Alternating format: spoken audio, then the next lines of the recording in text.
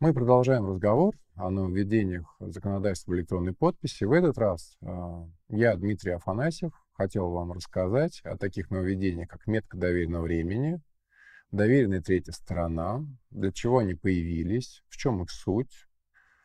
Э, смотрите обо всем этом на видеоконсультантов.